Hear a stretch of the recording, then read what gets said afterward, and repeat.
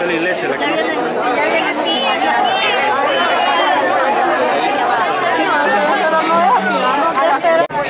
El amor milagro. La candela, los milagros, la candela.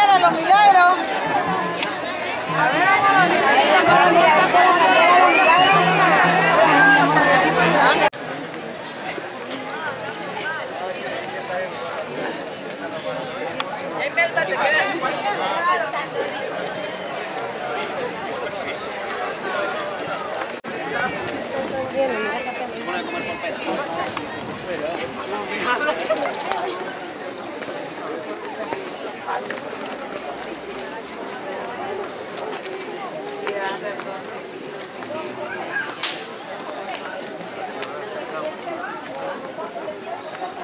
Thank you.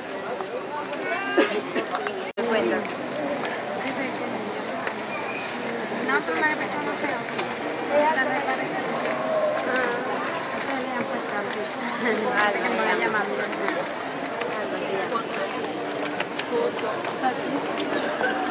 Tenemos que ir por ahí. ¿eh?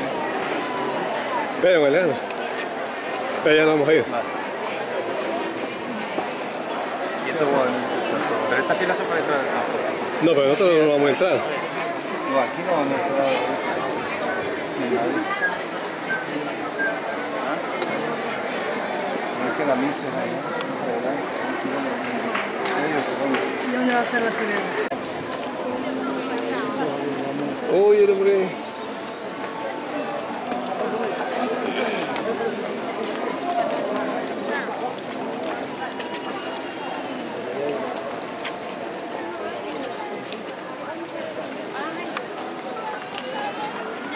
Varias que se han quedado.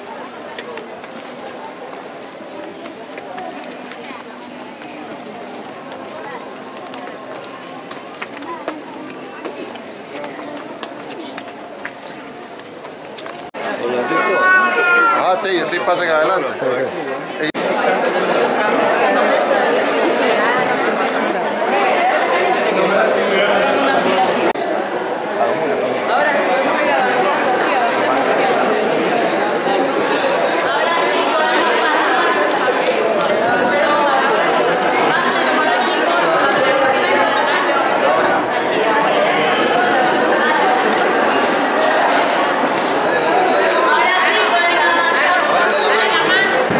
Mira la cantidad de personas que están caminando, creo que es un gesto muy hermoso de una iglesia viva y es- la iglesia se identifica por ser una iglesia peregrina. Vimos que hoy pues nos reunimos aquí cantidad de personas para alabar y bendecir al Señor a través de ese puente que yo considero como el Padre de La iglesia nicaragüense se siente más fortalecida ahora, la nicaragüense de centroamericana, ahora que no tenemos No sé, creo que es el Señor que nos fortalece, no quiere ser solamente un instrumento, como fue la samaritana, para que Ahí, ahí, muchos ahí, hombres y ahí, mujeres ahí. vayan al encuentro de Jesucristo y sientan esa experiencia personal. ¿Cómo se siente estar aquí, cardenal? En primer lugar, que sigan en esa comunión con su obispo, que sigan este cariño grande hacia el Padre Odrico, que va a ser el puente, que nos va a llevar a ese encuentro definitivo con Jesucristo. ¿Pondrá su granito de arena para la beatificación del Padre David? No hay duda, si yo fui el que firmé el primer documento para que se iniciara la causa, así que me siento tan ligado, comprometido y lo hablamos como Señor, que lo que esté de mi parte como cardenal, cuando tenga que venir a Roma, pues siempre estaré dispuesto para, como decimos nuestra cuchara, ¿eh? para que pronto podamos tener ya la beatificación del Padre Odrico, que todo sea para gloria y alabanza del Señor. Polito, ¿y el nuncio por qué no vino hoy? Bueno, el problema es que todo el mundo está medio comprometido, lleno de cosas. ¿ve? Eh, la- lo interesante fue que Monseñor Enrique, con tiempo, eh, él mismo apuntó esta fecha en mi agenda y ya me arrancó todo, ¿ve? cerró todo el domingo para que yo viniera aquí. ¿eh? Pero Monseñor Silvio también tenía muchas ganas de venir, sin embargo, pues habían compromisos.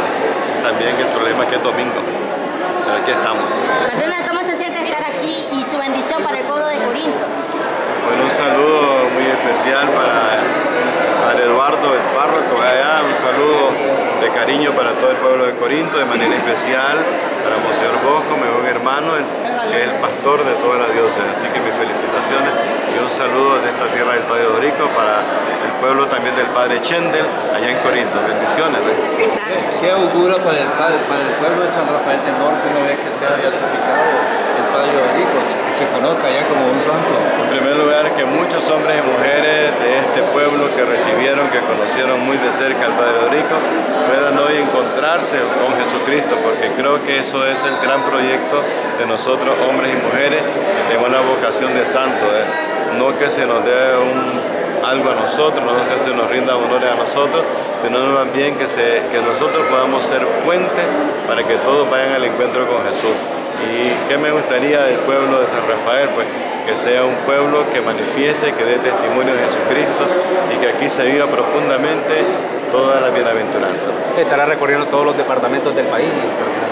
Bueno, algunos ya me han, puesto citas ahí, ya tengo ya, yo estoy en Matagalpa, ahora estoy aquí con ustedes, creo que después voy a estar en Granada, estaré en Chontales y después que habrá una visita para León, así que según como tenga tiempo también, porque el gran problema es eso, tener tiempo, porque como esto yo no lo tenía programado. La que fue, ha sido criado como cardenal, pues yo tenía toda mi programación para todo el año, porque los sacerdotes ya en diciembre y en enero le llenan la agenda a uno de compromiso, pero ahora tener que multiplicarme dentro de mis posibilidades, pues acompañaré y cumpliré las, las invitaciones que hagan mis hermanos obispos. Una pregunta de actualidad, ¿cuándo comenzará el diálogo con el gobierno?